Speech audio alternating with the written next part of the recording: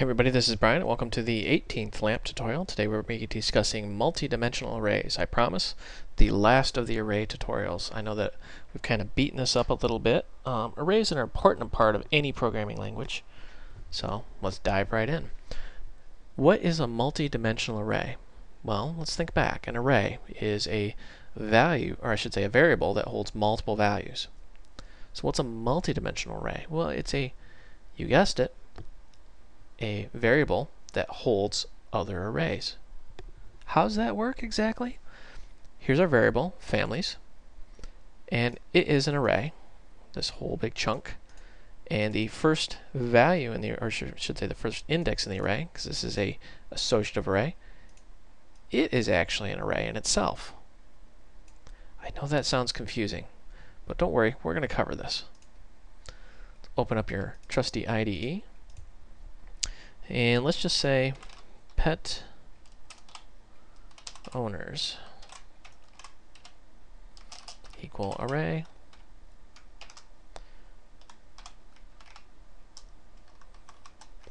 We'll say Brian. And we're going to make this an array.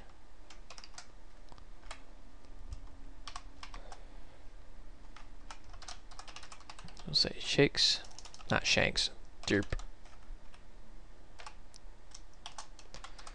Fia. I'm naming my cats. These are not their full names. And, uh, laser thingy. That's one of the cat's toys. Did I actually misspell laser? I did. Oh my gosh. You gotta be talented when you misspell laser. I call laser thingy one of the pets because I have to constantly feed it batteries to keep the cats occupied. Alright, now we're going to say Heather, my daughter. And let's say she's got a uh, an array.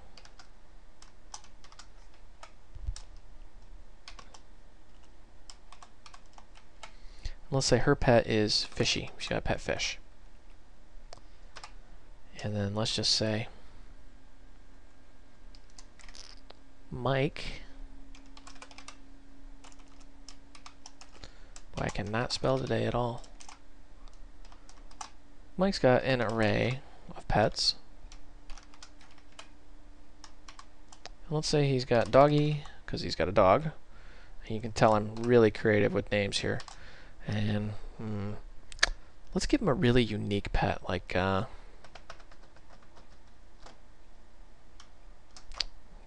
what was that thing I call? Oh yeah, liger. It's a combination between a lion and a tiger. Those actually do exist. They're quite freaky if you've ever seen one. So, wow, let's look at the syntax of this thing. As you've guessed it, working with multi-dimensional arrays comes with its own headaches. I mean, look at the syntax of that. You misspell one little thing and that whole variable is just shot. So how do you access items in a multi-dimensional array? Well, I'm glad you asked. So let's just keep it simple here. And we'll say Brian, whoops, case sensitive. And let's just say we want to access the first item in here. Shakes. That's our first item.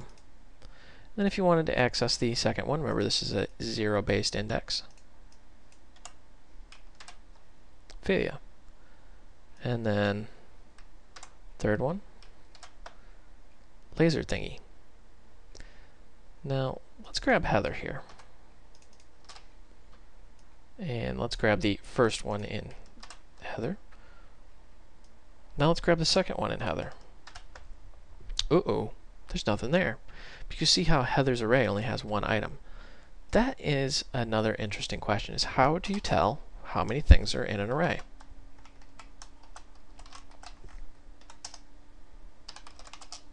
Well, you use the function called count.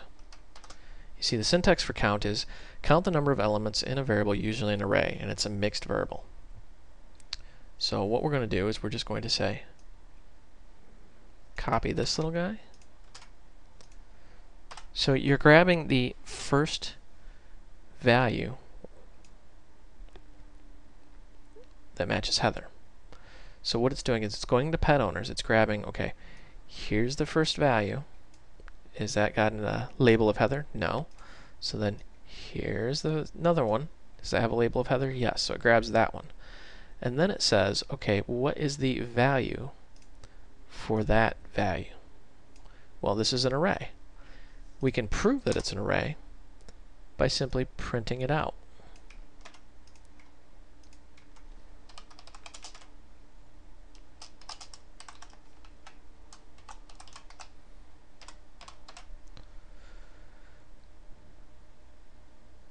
See? Now let's give this a more meaningful example.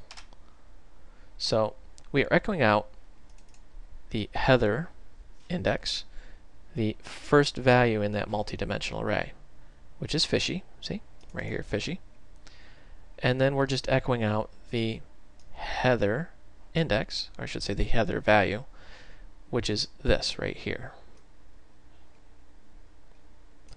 What that's saying is it's an array. So you know this is an array. And then we're going to count the elements in that array, Heather, 1.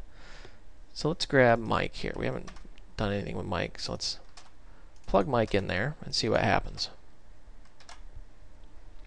Notice how it says doggy, because doggy is the first element in the Mike array.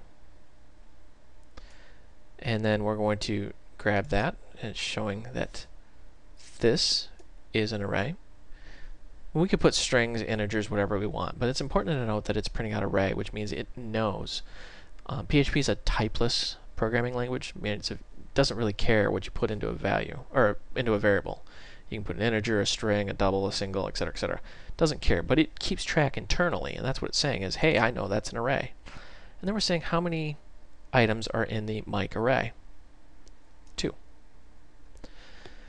pretty complex subject, and I have to admit, multidimensional arrays in the real world um, really aren't used too heavily. There are better programming um, ways of doing things, but we're not going to cover those just yet. So that's all for now. This is Brian. Thank you for watching.